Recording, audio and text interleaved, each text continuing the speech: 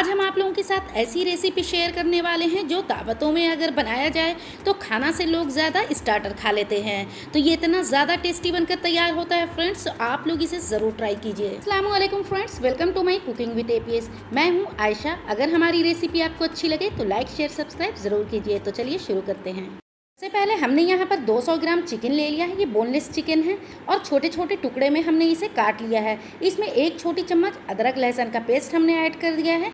आधी छोटी चम्मच लाल मिर्च, आधी छोटी चम्मच ज़ीरा पाउडर, आधी छोटी चम्मच काली मिर्च।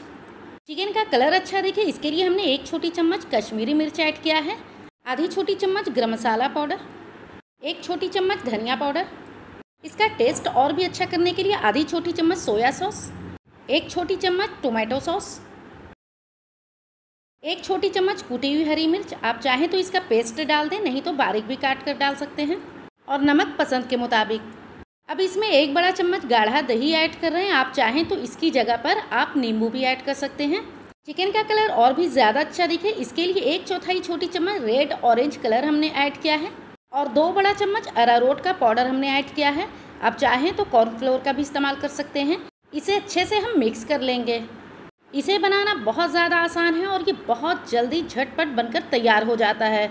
इसे हमने मिक्स कर लिया है तो अब इसे ढक कर रेस्ट के लिए आधे घंटे के लिए हम छोड़ देंगे, ताकि जो भी हमने मसाले ऐड किया है, वो अच्छे से अब्जॉर्ब हो जाए। तो यहाँ पर हमने एक बॉल में पानी ले लिया है। अब इसमें एक छोटी चम्मच हमने नमक ऐड कर दिया है, और दो बड़ा चम्मच अरारोट का पाउडर डालकर अच्छे से हम मिक्स कर लेंगे। इसका इस्तेमाल हम कहाँ पर करेंगे, ये आपको आगे बताएँगे। तो इसे मिक्स कर लेना है। मिक्स करने के बाद इसे आप साइड में रख दीजिए। अब यहाँ पर हमने एक मीडियम साइज़ का आलू ले लिया है। आलू को छीलने के बाद हमने पानी में डालकर रख दिया था। अब इसे हम कट कर लेते हैं। तो पहले जो राउंड शेप है, उसे हम हटा लेंगे और इस तरीके से पतला पतला स्लाइस में कटिंग करना है। इसे हम ग्रेटर में भी ग्रेट कर सकते हैं। लेकिन मेरी नाइफ़ की धार बहुत तेज़ है, इसीलिए हम नाइफ़ से काट रहे हैं। इसी तरीके से आलू को स्लाइस में काट लेना है। तो आप देख सकते हैं कि ये कितना मोटा है। बहुत ज़्यादा इसे मोटा नहीं रखना है। सभी आलू के स्लाइस को काटने के बाद हमने पानी में यहाँ पर डाल दिया है। आप देख सकते हैं। अब जो कॉर्नफ्लोर का पानी हमने मिक्स करके रखा है तो इसमें हम जितने भी आलू पानी में डाल के रखा है, उसे इसमें डाल देंगे। इस पानी में आलू को डालने के बाद आलू बिल्कुल सॉफ्ट हो जाता है। तो अभी आप देख सकते हैं कि ये फोल्ड नहीं हो रहा है, मगर कुछ मिनट के बाद, यानी दो मिनट के बाद ये बिल्कुल सॉफ्ट हो जाता है। दो मिनट हो चुका है तो अब हम आपको दिखा रहे हैं, ये देखिए कितना ज़्यादा सॉफ्ट हो गया है। इसीलिए ये नमक वाला पानी को तैयार किया जाता है, ताकि आलू बहुत आसानी से मुड़ सके। तो चलिए, ये हो गया है तो अब हम चिकन देख लेते हैं। तो यहाँ पर चिकन भी रेडी हो चुका है। अब इसमें से एक आलू का स्लाइस को निकालेंगे, और जो चिकन का पीस है तो आलू का जो स्लाइस का साइज़ है, उसी साइज़ के हिसाब से चिकन को आपको सेट करना है। अब एक टूथ पिक की मदद से इसे फिक्स कर लेना है, ताकि आलू और चिकन बिल्कुल चिपका रहे। तो देखिए, यहाँ पर दूसरा स्लाइस भी हमने निकाल कर और इसमें चिकन सेट कर रहे हैं। और इसे भी उसी तरीके से टूथपिक की मदद से सेट कर लेंगे। तो ये देखिए अब बाकी जितने बचे हुए आलू और चिकन हैं, सभी को इसी तरीके से टूथपिक की मदद से सेट करने के बाद तैयार कर लेना है। आप देख सकते हैं कि चिकन बटरफ्लाई हमारा तैयार हो चुका है। तो चलिए, अब हम इसे फ्राई कर लेते हैं। तो यहाँ पर तेल गर्म करने के लिए हमने पहले से रख दिया था। फ्लेम हमने यहाँ पर मीडियम रखा है।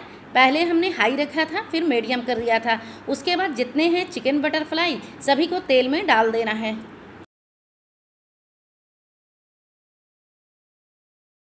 अब इसे उलट पलट कर फ्राई कर लेना है।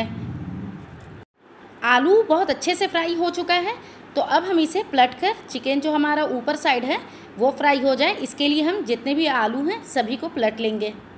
हाँ नमक के बारे में आपको तो हमने बता दिया कि नमक सॉफ्ट करता है आलू को, मगर ये कॉर्नफ्लोर हमने इसलिए मिलाया था कि आलू जो है, वो बहुत ज़्यादा क्रिस्पी तैयार होता है। आप देख सकते हैं कि इसके ऊपर कितना प्यारा कलर आ गया है। इसे लाइट गोल्डन होने तक अच्छे से फ्राई कर लेना है। और हाँ आप लोग सोच रहे होंगे चिकन गला होगा कि नहीं? चिकन बहुत अच्छे से गल जाता है क्योंकि इसे हमने मेरीनेट करने के लिए भी छोड़ दिया था। इस वजह से चिकन बहुत अच्छे से गल जाता है। ये हो गया है तो इसे निकाल लेते हैं। बाकी बचे हुए जितने बटरफ्लाई हैं, सभी को हम उसी तरीके से फ्राई कर लेंगे। अगर घर में शाम में दावत है तो आप इसे तैयार करके सुबह में रख दीजिए और इसे फ्राई जो करना है, उसे हाफ़ फ्राई करना है। जब गेस्ट आए तो इसे फिर से फ्राई करके आप मेहमानों के सामने सर्व कर सकते हैं। ये बहुत ज़्यादा टेस्टी और मज़ेदार बनकर तैयार होता है, फ्रेंड्स। आप लोग इसे ज़रूर ट्राई कीजिएगा। आप देख सकते हैं, इसे भी उलट पलट कर हमने फ्राई कर लिया है और इसके ऊपर बहुत प्यारा कलर आ गया है। तो इसे हम निकाल लेते हैं और फ्लेम को हमने ऑफ़ कर दिया है। आप देख सकते हैं कितना प्यारा कलर लग रहा है। इतना ज़्यादा टेस्टी लगता है कि आप हर दावत में यही स्टार्टर को बनाना पसंद करेंगे। चिकन बटरफ्लाई बनकर रेडी हो चुका है। थैंक्स फॉर वॉचिंग फिर मिलेंगे एक नई वीडियो के साथ। अभी के लिए लेती हूँ इजाज़त। अल्लाह हाफिज़।